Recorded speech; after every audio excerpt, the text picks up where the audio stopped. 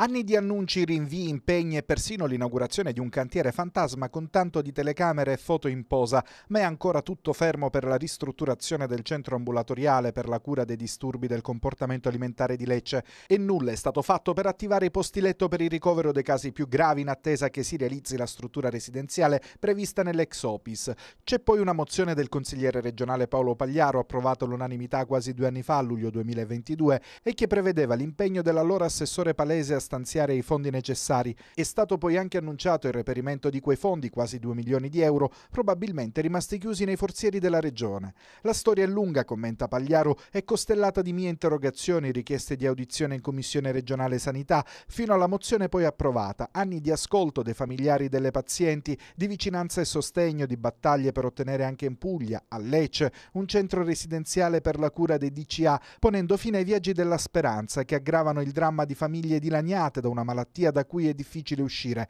Abbiamo assistito alle passerelle elettorali e autopromozionali, abbiamo dato credito agli impegni assunti pubblicamente dai vertici ASL della regione, ma ora è arrivato il momento di dire basta e di tirare le somme di tutte le promesse mancate, di tutti gli annunci farlocchi. Nell'interrogazione urgente presentata al governatore Emiliano, che ha la delega alla sanità, Pagliaro ripercorre le tappe della vicenda. C'è un centro ambulatoriale operativo a Lecce dal 1998, ma manca in tutta la Puglia una struttura struttura residenziale e il ricovero viene effettuato in altre regioni in attesa dell'apertura di una residenza terapeutico-riabilitativa a Lecce come prevede la mia mozione. Già a giugno 2022, ricorda Pagliaro, il direttore generale dell'ASL Lecce aveva annunciato l'avvio delle assunzioni di specialisti infermieri, operatori sociosanitari ed educatori dell'equipe medica per il potenziamento del centro di CIA di Lecce. Arriviamo a novembre 2023 e la regione comunica di aver reperito 2 milioni di euro per la ristrutturazione dei due piani dell'immobile e per la riqualificazione dell'area esterna del centro ambulatoriale